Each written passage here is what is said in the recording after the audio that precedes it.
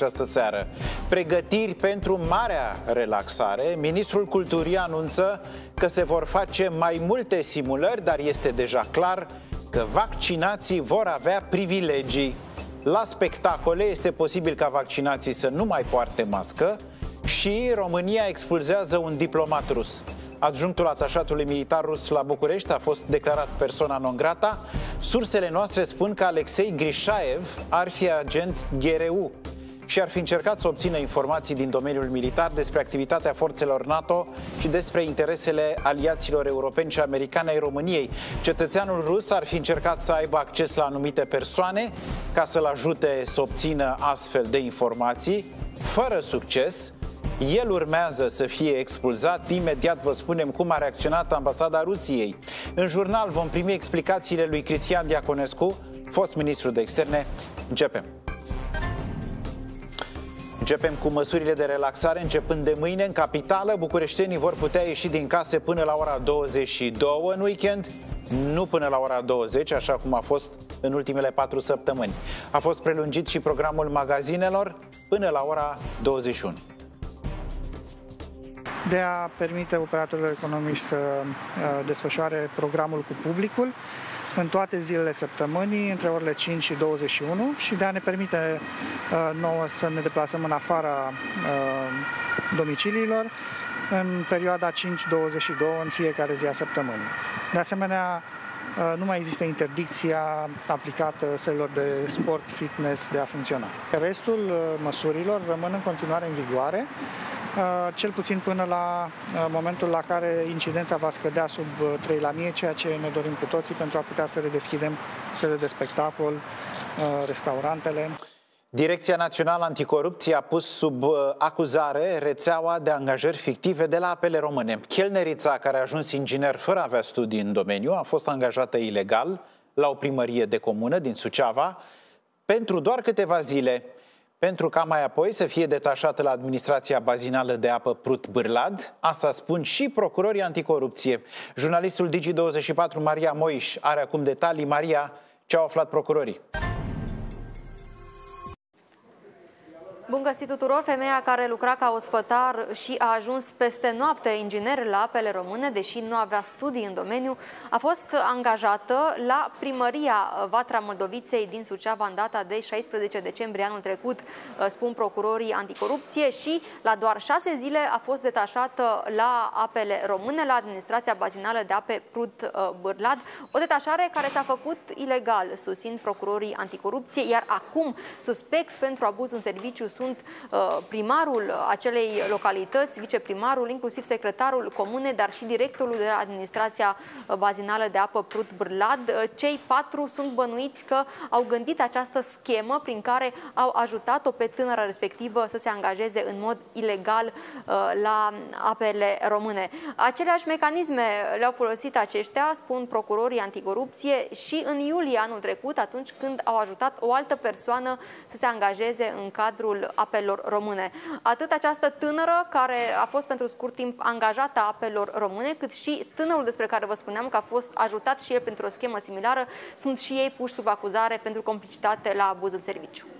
Timp de trei luni, Diana Șoșoacă nu mai are voie să reprezinte Senatul României la evenimentele externe sau interne. Senatoarea a primit astăzi un avertisment scris pentru comportamentul și limbajul agresive pe care le-a avut în Parlament și pentru faptul că a refuzat să poarte mască într-o instituție publică. La scurt timp după anunțarea deciziei, Diana Șoșoacă a anunțat că o va contesta.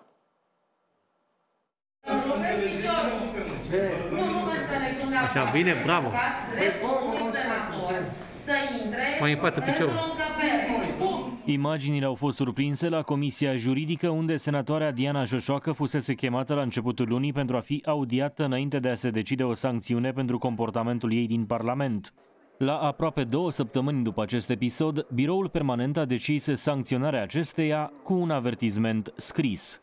Acest avertisment scris atrage după sine imposibilitatea doamnei senatoare de a reprezenta Senatul României în relații interne și externe pentru o perioadă de trei luni. Nu s-a mai întâmplat acest lucru. Din păcate, este o situație nouă cu care ne confruntăm. În orice caz, este prima și sper ultima situație de acest an uh, în acest mandat. Doamna senatoare are la dispoziție 15 zile să conteste această decizie. Președintele Comisiei Juridice, Iulia Scântei, a transmis că au fost constatate cinci abateri de la prevederile regulamentului care justifică aplicarea unei sancțiuni nerespectarea legilor în vigoare și a prevederilor regulamentului, exercitarea în mod abuziv uh, a mandatului, comportament uh, injurios, calomniator la adresa unor uh, alți membri uh, ai Parlamentului, ai Senatului, în cazul nostru, în cadrul ședințelor de plen. Diana Șoșoacă nu a stat însă cu mâinile în sân în tot acest timp. Senatoarea a făcut o sesizare prin care cere la rândul ei sancționarea celor care o critică pentru comportamentul din Parlament, susținând că este supusă discriminării, hărțuirii și jignirilor. Această sesizare uh, este o altă modalitate prin care doria, domnia sa dorește să se victimizeze. Nu puteam să, fi, să fim sesizați cu privire la modul în care ne exercităm uh, uh, prerogativele parlamentare în limitele și în cadrul prevăzut de regulament, iar uh, propunerea de clasare a acestei sesizări a fost adoptată. Diana Șoșoacă a anunțat deja că va contesta decizia prin care Senatul o sancționează cu avertizment scris. Ministrul Educației anunță că a cerut în mod oficial utilizarea testelor non-invazive în școli după vacanța de Paști. Sorin Câmpeanu a dat exemplul altor țări care folosesc aceste testări la intrarea în școli. Ministrul a mai declarat că ar putea fi analizată și varianta în care toți copiii să meargă la școală în acele instituții în care cadrele didactice s-au vaccinat. Printr-o adresă scrisă, o solicitare din partea Ministrului Educației, am transpus această idee și către Ministerul Sănătății, solicitare către Ministerul Sănătății și sunt convins că se vor aplica cu maximă atenție în condițiile în care din ce în ce mai multe state europene apelează la această soluție a testării non-invazive în școli. Ultimul exemplu este cel al Italiei, care s-a adăugat exemplului Germaniei, Austriei, Franței, în care aceste teste non-invazive sunt utilizate în școli. Ele trebuie să fie validate ulterior prin teste PCR, dar sunt un instrument foarte important pentru a asigura protecția sanitară în școli. Elevii vor fi testați săptămânal? Este vorba de testarea elevilor care prezintă simptome specifice în timpul procesului de învățământ, precum și a elevilor care au luat la cunoștință că sunt contacti ai unor cazuri confirmate. Elevii de clasa a 8-a revin la școală pe data de 10 mai și au cursuri până pe 11 iunie. Deci mai au doar o lună de cursuri, înainte de examenul de evaluare națională, care va începe pe data de 22 iunie. Această lună este foarte importantă pentru pregătirea lor. Nu se justifică, în opinia Ministerului Educației, condiția de înjumătățire a efectivelor de elevi în clasele terminale, în condițiile în care, în aceeași școală, în condiții similare, suprafețe identice ale claselor, cei de clasa 4 spre exemplu, pot veni la școală cu efectiv complet și e foarte bine că pot veni la școală. Am solicitat eliminarea acestei condiții. În măsura în care vom identifica acele școli în care integral profesorii sunt vaccinați, am putea să cerem autorităților sanitare permisiunea ca în acele școli să se elimine restricțiile, dar asta depinde de progresul campaniei de vaccinare, depinde de măsura în care vaccinarea va fi uh, recomandată și pentru elevi. Comunitățile izolate departe de centrele de vaccinare din orașe au o șansă să se imunizeze datorită echipelor mobile. La Constanța, medicii militari au mers deja în trei comune și au reușit să vaccineze aproape 300 de oameni.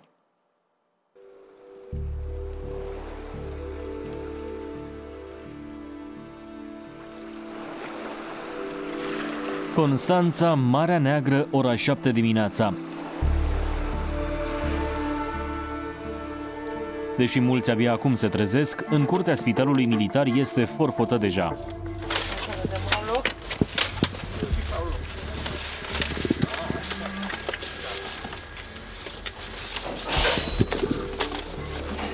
Așa.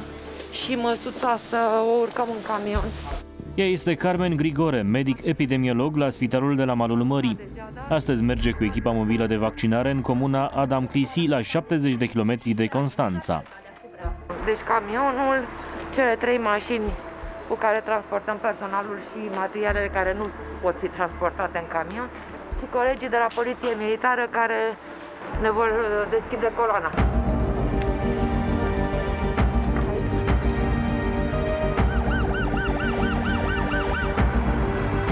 Orice misiune nouă reprezintă o provocare, dar uh, nu sunt neapărat emoții, sunt emoții pozitive. Mă, mă bucur tare mult și ne bucurăm tare mult că putem să contribuim la uh, această campanie de vaccinare.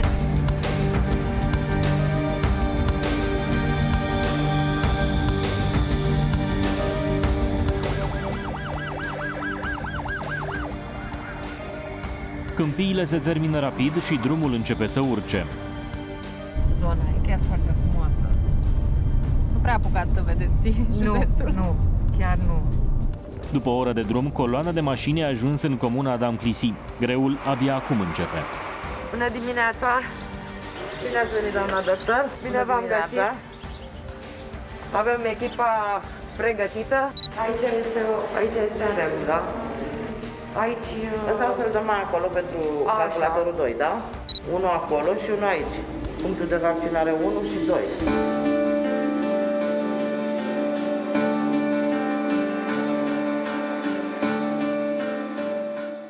Prima care se va vaccina, nu?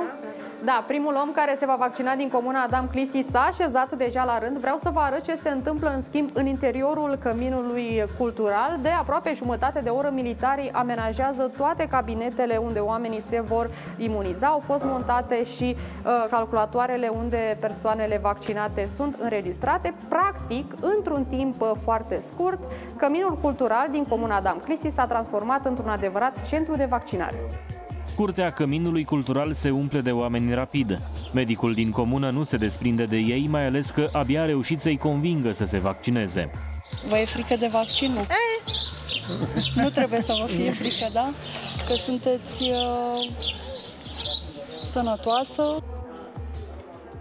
A fost uh, ușor inițial, dar ulterior s-au răzgândit. O parte din ei, o parte au înțeles că trebuie să-l facă și că e important să se prezintă și să sperăm că până la ora 7 or să vină. Viața în comuna Adam Clisi se desfășoară domol. Populația nu mai este de mult tânără, iar oamenii merg la oraș când au lucruri urgente de rezolvat. Vaccinarea nu era neapărat unul dintre ele. A convins mai mult faptul că e aici în comună. Da, și, și faptul să nu ne îmbolnăvim am venit de COVID. Da, da, toate, că ne-am ferit, noi suntem la țară, mai nu ieșim așa des, doar la cumpărături, nu e ca în oraș, da? Dar tot parcă ne e frică ce vedem la televizor. În uh, contextul acesta am uh, hotărât, în momentul în care am fost înștiințați de prefectură că vor veni echipe mobile, am hotărât uh, imediat să participăm și noi la această acțiune. Minutele trec și în cabinetele improvizate, localnicii intră rând pe rând. Ați văzut? E ușor. E ușor. Vaccinându-ne, putem să ne relaxăm. Eu sunt foarte emotivă, deci mă, mă bucur foarte mult. Pentru mine este o bucurie foarte mare și pentru uh, toți colegii uh, cu care suntem astăzi la Adam Clisi este o bucurie foarte mare să vedem uh, uh deci cred că deja s-au vaccinat 10 uh, persoane.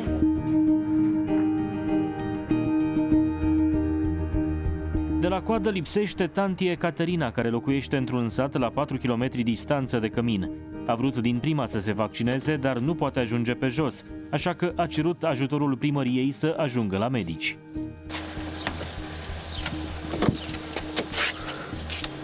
Fica mea m-a înscris că pe unde mă duc îmi cere mereu uh, vaccinul ăsta. Pe jos, cu mașina sau cu microbuzul, 150 de oameni din comuna Danclisi au ales să se imunizeze. Nu le-a fost prea greu pentru că vaccinul a venit la ei, la fel și medicii. Ziua de vaccinare de la Adam Clisi ar putea arăta la fel în toate comunele din România, pentru că medicii vor merge peste tot. Oamenii au un singur lucru de făcut, să aleagă vaccinarea pentru ei și pentru cei din jur. Cascadorie de Hollywood în centrul capitalei. O femeie a încercat să însceneze un accident, dar nu a avut mare succes pentru că acolo erau camere de supraveghere, au filmat tot momentul. Femeia merge pe mijlocul șoselei și așteaptă ca o mașină să se apropie, deodată sare în fața autoturismului, dar șoferița are timp să frâneze. Fără să fie lovită, femeia se aruncă la pământ, toți oamenii coboară din mașini, crezând că ea a leșinat, însă au fost șocați când au văzut că femeia sună la 112 și anunță că a fost lovită de mașină. Polițiștii au văzut imaginile și au găsit-o pe această femeie. Mergem acum la jurnalistul Digi24 Valentin Stan, care are mai multe detalii. Vali, ce spun polițiștii? Bună seara, bine v-am găsit. Polițiștii spun că întreaga înșelăciune a fost plănuită în detaliu de către femeie și asta o să vedem și noi în înregistrare. O să luăm câteva momente cheie surprinse de camerele de supraveghere. Ne uităm la primele secunde ale filmării. O vedem pe femeie. Este undeva în apropierea unei treceri de pietoni. Așteaptă ca semaforul să arate culoarea verde, în așa fel încât mașinile să înainteze.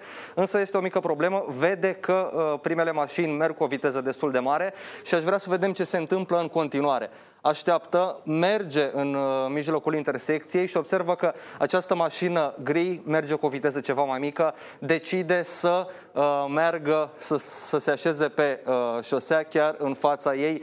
Din fericire, șoferița, o altă femeie, a avut timp uh, să frâneze la timp, nu a fost un impact. Însă, cu toate acestea, am observat că uh, femeia se întinde efectiv pe șosea. În momentul în care uh, toți martorii, ceilalți șoferi, oamenii care se aflau în preajmă, merg la ea să vadă dacă este în regulă, dacă este, are vreo problemă de sănătate, observă că ea uh, suna la 112, reclama un, uh, un accident.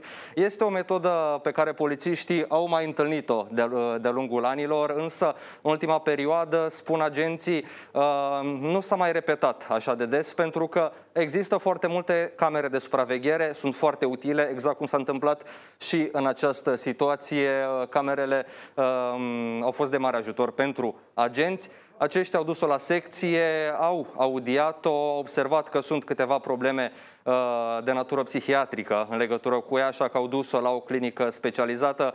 Nu au amendat-o, deși în mod normal pentru o astfel uh, de metodă, pentru apelarea numărului 112, deși nu este un motiv uh, întemeiat, uh, se acordă o amendă. Au început programele Rabla Classic și Rabla Plus pentru 2021. Rabla Classic vine cu modificări substanțiale. De exemplu, prima de casare a fost majorată de la 6500 la 7500 de lei. Pentru programul Rabla Plus 2021, bugetul este cel mai mare de până acum, 400 de milioane de lei, dublu față de cel de anul trecut. În cadrul programului Rabla Plus se acordă două tipuri de cotichete, respectiv 45.000 de lei pentru mașinile electrice și 20.000 de lei pentru mașinile hibrid plug-in, dar nu mai mult de jumătate din valoarea noului autoturism. Încă din primele minute au fost peste 1000 de accesări, asta spune ministrul mediului, care anunță că vânzările pentru mașinile electrice au crescut, el îi îndrumă pe cetățeni să consulte dealerii auto. Mai mult, încă un program extrem de așteptat public, Rabla pentru electrocasnice, se va lansa în această săptămână. Iată anunțurile făcute de Tanțoș Parna. Ne vom focusa în acest program pe aparatura electrocasnică cea mai consumatoare de energie eh, electrică, astfel încât eficiența, eh, prin reducerea consumului, eficiența să fie maximă în ceea ce privește programul. Ne concentrăm în prima fază pe mașinile de spălat, pe frigidere și de mașină de spălat rufe și vase frigidere, după care venim cu a doua etapă Eh, probabil la două săptămâni după lansare vom veni cu a doua etapă pentru laptop, eh, tabletă și televizor și în ultima fază, probabil la patru săptămâni de la lansare, venim cu programul pentru aparate de aer condiționat, mașini de uscat rufe și ce mai rămâne din program. Ele vor fi disponibile pentru eh, cetățeni pe bugete alocate pe fiecare subgrupă de produse astfel încât uh, eficiența programului să fie maximă și să nu cumva să transformăm programul într-un program de cumpărat televizoare. România poate depune planul național de redresare și reziliență până pe 31 mai, mai târziu decât alte state europene. Asta după ce oficialii de la Bruxelles ne-au avertizat că planul făcut până acum nu e bun și trebuie refăcut. Liberalii au dat vina pe ministrul fondurilor europene, Cristian Ghinea, pentru aceste reproșuri. În conflict a intervenit și președintele, care i-a convocat astăzi la Cotroceni pe toți cei responsabili cu acest proiect. Potrivit unor surse, în ședința de partid, liberalii s-au plâns de prestația lui Cristian Ghinea la Bruxelles. În anumite puncte unde există rezerve la nivelul Comisiei Europene să îmbunătățim argumentația și susținerea proiectelor pe care noi le considerăm uh, importante pentru România a fi finanțate din PNRR. Sunt convins că domnul ministru Ghinea a încercat să susțină PNRR-ul așa cum uh, noi l-am propus. Uh, nu am îndoieli legate de acest subiect. Sigur că probabil a fost confruntat cu anumite situații în care poate era nevoie de o fundamentare tehnică mai bună. Liberalii îl fac vinovat pe Ghinea pentru că nu ar fi știut să explice date tehnice din PNRR oficialilor de la Bruxelles. Am avut o discuție cu domnul Orban după întâlnirea de la copreședintele, în care ne-am lămurit Uh, l-am întrebat ce a vrut să spună. Domnul Orban mi-a spus că a spus presei că sunt discuții tehnice, că uh, s-a muncit foarte mult și că s-au făcut progrese, ceea ce apreciez foarte mult. Nu e niciun motiv de îngrijorare în acest moment. Să spunem că au fost unii foarte viteji în a propune niște chestiuni și când a fost vorba de partea tehnică de scris efectiv, uh, au dispărut din peisaj. Potrivit informațiilor Digi24, în ședința internă a PNL nu au fost formulate doar critici la adresa lui Cristian Ghinea, ci și o propunere care îl viza direct. Vicepreședintele Laurențiu Leoreanu ar fi susținut că Premierul ar trebui să coordoneze Programul Național de Redresare și Reziliență și nu Ministrul Fondurilor Europene, cum se întâmplă în prezent, iar Cristian Ghinea și Alexandru Nazare să îl sprijine pe Florin Câțu în acest sens. Florin Câțu s-a supus voinței partidului și a anunțat că va merge la Bruxelles. Unul dintre proiectele respinse de Comisia Europeană este cel privind sistemul de irigații pentru care guvernul prevedea alocarea unor fonduri în valoare de 2,5 miliarde de euro. Cred că informația nu a fost uh, foarte bine prezentată pentru că suntem departe de a finaliza uh, negocierile cu Comisia. A știut Cristian Ghinea să ofere toate detaliile tehnice legate de acest program de, legat de irigații? Eu cred că a știut pentru că, repet, noi trimitem informații și avem întâlniri săptămânale cu cei de la Ministerul Investițiilor și Proiectelor Europene. Planul Național de Redresare și Reziliență a fost adoptat de guvern pe 7 aprilie. Potrivit documentului pus luna trecută în dezbatere publică, guvernul a bugetat prin PNRR cheltuieli de peste 41 de miliarde de euro mai mari decât suma destinată României, aproximativ 29,2 miliarde de euro. Ați văzut premierul României Florin Câțu a declarat că va merge personal la Bruxelles ca să discute despre Planul Național de Redresare și Reziliență, după ce Comisia Europeană a cerut României să-l refacă. Mai mult, el susține că toată coaliția s-a implicat la realizarea planului și că ministrul fondurilor europene nu avea cu ce să greșească asta după ce mulți liberali au dat vina pe Cristian Ghinea pentru că nu a fost acceptat planul așa cum a fost scris inițial. Am fost la Bruxelles înainte, am discutat despre planul uh, de PNRR. Mă voi duce de fiecare dată când uh, o să fie nevoie să discut despre PNRR. Men de 30 ca ministrul Cristian Ghinea să meargă la negocieri alături de alții miniștri cu ministrii de resort? Asta le discutăm. Eu zic că uh, au fost negocieri online și ministrii de resort uh, au fost alături de ministrul Ghina. Uh, dacă o să fie nevoie, o să punem mai multe resurse pentru a ne face înțeleși la Comisia Europeană că acesta este planul pe care îl susținem. Credeți că a greșit cu ceva ministrul Ghina în discuțiile cu Comisia Europeană? Nu avea cu ce să greșească în acest moment. Suntem acum, în acest moment, suntem în negocieri. Știți foarte bine structura. Există un mandat pentru minister de a negocia această formă a PNRR, care are o sumă mai mare, uh, este supracontractată, iar coordonarea negocierilor se face eu sunt cel care coordonează sub supervizarea mea. Toate ministerele s-au implicat în acest proces, proces toți ministrii, ambii vicepremieri, coaliția, toți colegii. România a declarat persona non grata un diplomat rus care voia să spioneze pentru Moscova și să adune informații politice și militare. Informația vine de la surse guvernamentale care spun că adjunctul atașatului militar al ambasadei Moscovei la București, care era agent Ghereu, a vrut să recruteze cetățeni români care să-l ajute să adune informațiile respective. Acestea urmau să fie obținute din interiorul guvernului și se refereau la politica externă, la armată și sistemul de securitate cibernetică. Este vorba inclusiv despre sistemul de securitate energetică. În ultimele săptămâni, la nivel european, a existat un val de expulzări de diplomați ruși acuzați de spionaj.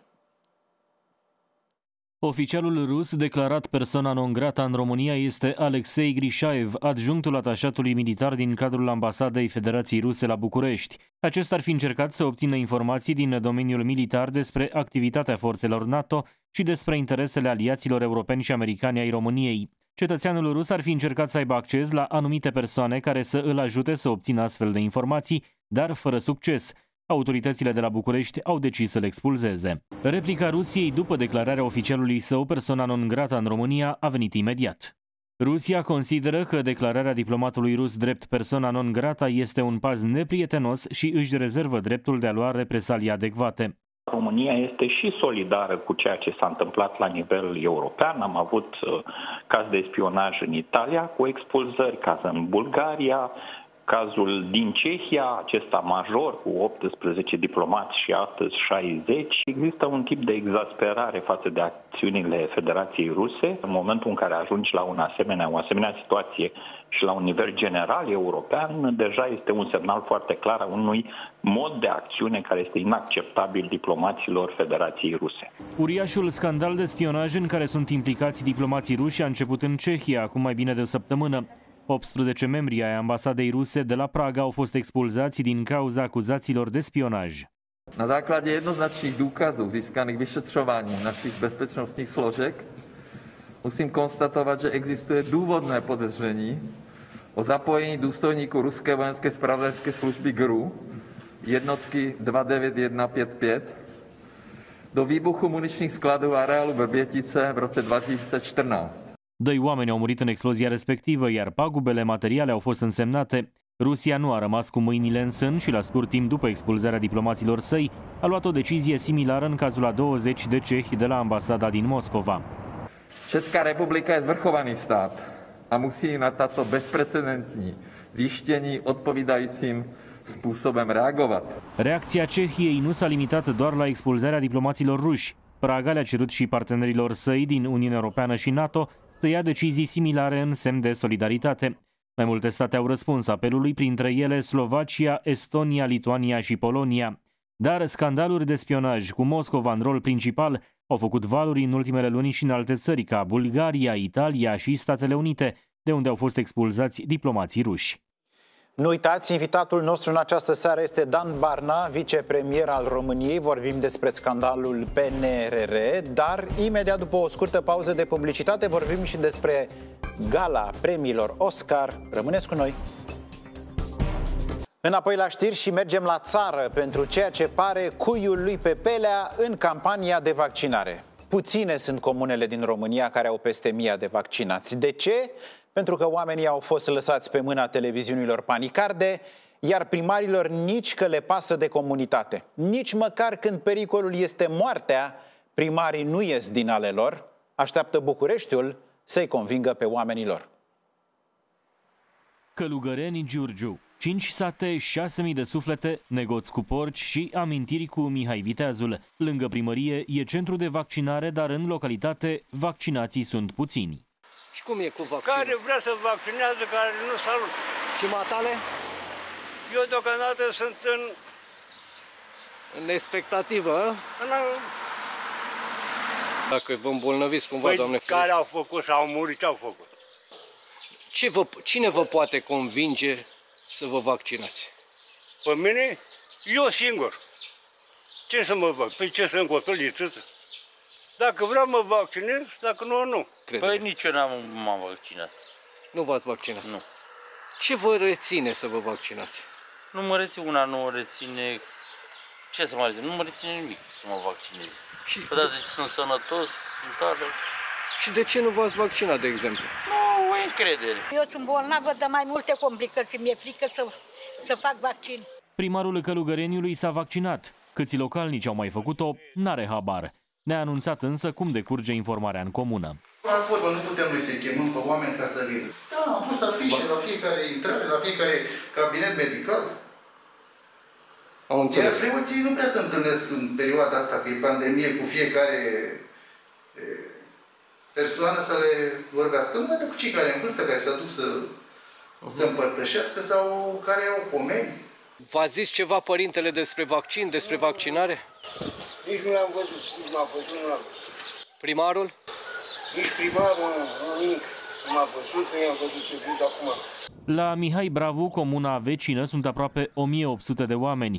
Viceprimarul zice că s-au vaccinat deja câteva sute și trage nădejde că în săptămâna mare, cu exemplul propriu și cu preotul, vor mai convinge câțiva. Spun că eu am făcut și prima și a doua doză și rapelul și uh, sunt uh, întreg, sunt uh, apt, sper să nu mă atingă sau dacă mă atinge să suport mai ușor trecerea prin acest nenorocit de, de, de virus. Filozofia vicelui de la Mihai Bravo nu împărtășită însă și de alesul Comanei. În comuna întemeiată de Vlad Țepeș s-au vaccinat vreo 800 de persoane din 8000. Primarul ar avea o soluție. Cum îi puteți determina pe cetățeni să accepte acest vaccin, să accepte imunizarea? De ce noi? De ce noi? De ce ne întrebați pe noi? De ce preotul, de ce primarul? De ce nu senatorul și deputatul? De ce nu premierul? De ce nu guvernanții? De ce nu fac o lege? Nu știu. Să-i oblige. Nu iau. Fără nu ia, nu o să se... Noi încercăm, sincer, nici de la mine, de la primărie, nu s-au imunizat mai mult de 50%. Jumate-jumate. Eu spun că tot nu ia. Lege dată, nu mai pleci în concediu, nu știu, zic și eu. Nu te mai prezinți la serviciu. De ce acum am înțeles că... Păi drepturile omului? Aveți dreptate, da. Noi măturăm după și drepturile omului decât să arunce jos. E adevărat și drepturile omului, da. Ei, dacă nu se gândesc la ceilalți. Desfășurată parțial la Los Angeles, Londra și Paris, parțial online, ceremonia de anul acesta a premiilor Oscar și-a desemnat marele câștigător, filmul Nomadland, care a primit trei dintre cele patru mari premii. Uh, au fost desemnat filmul anului, Chloe Zhao a devenit a doua femeie care primește statuita decenată celui mai bun regizor, iar protagonista Frances McDormand a obținut Oscarul pentru cea mai bună actriță. Veteranul Anthony Hopkins a devenit cel mai bătrân actor distins pentru rolul principal, Nominalizat la două categorii, documentarul colectiv realizat de Alexander Nanau nu a primit niciun premiu. And the Oscar goes to Nomadland. Nomadland, filmul despre vârstnicii americani care trăiesc pe drumuri după ce au pierdut tot în urma crizei financiare, a luat premiul cel mare al ediției cu numărul 93 a Oscarurilor. You are one of those lucky people that can travel anywhere. Yes, ma'am. And they sometimes call you nomads. My mom says that you're homeless. Is that true? No, I'm not homeless. I'm just houseless. Pe scurt, Nomadland este povestea unei femei de 60 de ani care după moartea soțului este nevoită să înceapă o nouă viață în Dubai, cu care pornește prin vestul american. Frances McDormand, în rolul protagonistei, a fost desemnată cea mai bună actriță.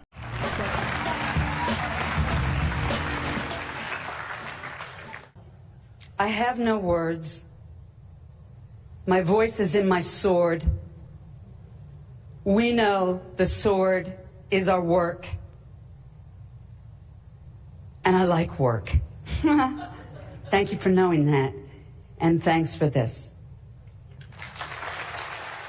Cu acest film, caracterizat drept un hibrid de road movie, dramă socială și documentar, Chloe Zhao a devenit prima femeie non-albă care a primit Oscarul pentru cel mai bun regizor. Născută în China, ea este abia a doua femeie distinsă cu trofeul pentru regie în cele 93 de gale Oscar. Prima a fost Catherine Bigelow în 2010 cu Minesweepers.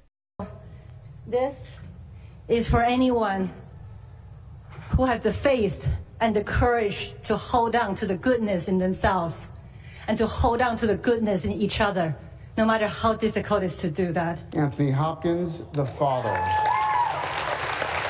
La 83 de ani, legendarul Anthony Hopkins a devenit cel mai vârstnic laureat care câștigă categoria cel mai bun actor. Filmul The Father, în care interpretează rolul unui bătrân cu demență, i-a adus acest premiu. Date of birth? Friday, 31st of December, 1937.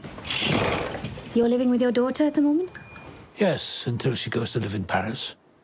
No, Dad, why do you keep going on about Paris? You told me. No, I didn't. I'm sorry, Anne, you told me the other day. Have you forgotten? She's forgotten. Pelicula a luat Oscarul și pentru cel mai bun scenariu adaptat. Britanicul Daniel Kaluuya a fost desemnat cel mai bun actor în rol secundar pentru interpretarea sa din Judas and the Black Messiah. Confruntat din copilărie cu rasismul, el a intrat în pielea liderului Panterelor Negre, organizația pentru drepturile civile ale negrilor activă între anii 60 și 80. O victorie la Oscar pentru un astfel de rol, care i-a adus și un glob de aur și un premiu BAFTA, vine după un an de proteste antirasiste și multe critici la adresa Academiei pentru absența artiștilor negri din selecțiile sale. Cea mai bună actriță în rol secundar este sudcoreanca Yoon Yoo-young pentru rolul ei din filmul Minari, în care joacă rolul unei bunice a unui băiețel corean-american care se alătură familiei în America rurală. Pentru actrița de 73 de ani este încununarea unei cariere de 5 decenii.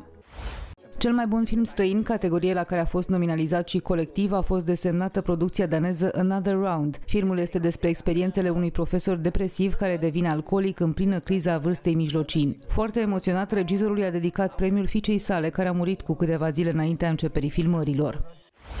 Soul, o fabulă despre sensul vieții ieșită din studiorile Pixar, a câștigat Oscarul pentru cel mai bun film de animație. Filmul relatează necazurile unui modest profesor de muzică din New York care vrea să devină un mare interpret de jazz. Este primul din istoria de 25 de ani a lungmetrajelor Pixar cu o distribuție predominant neagră. Colectiv nu a avut câștig de cauză nici la secțiunea documentar, a doua la care era nominalizat. Oscarul a revenit filmului My Octopus Teacher. Povestea este un proiect video personal al sud-africanului Craig Foster. Așa cum îi spune și titlul, este despre o caracatiță care se împrietenește cu un scafandru și îi dezvăluie viața sa secretă dintr-o pădure de alge zi de zi, timp de un an, până la moartea moluștei. A 93-a gala Oscarurilor a renunțat la multe tradiții, dar a păstrat-o pe cea mai spectaculoasă, dincolo de premiile în sine. Este vorba despre parada ținutelor purtate de vedete. Ca în fiecare an au fost anumite tendințe impuse de designeri. Pe covorul roșu au defilat vedete cu decolteuri ample, culori puternice și pentru că tot a fost vorba despre Oscar, mult auriu. Poate cea mai comentată apariție a fost a lui Halle Berry, care a uimit prin uh, tunsoare, dar și printr-o vaporoasă rochie, nu mă pricep, deci ne uităm.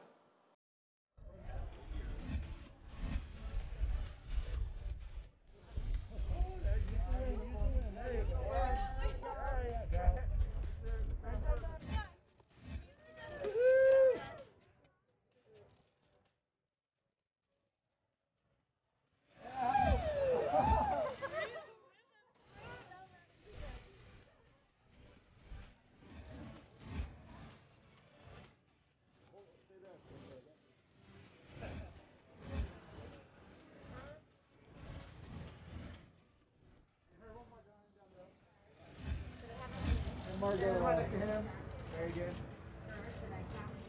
Very good.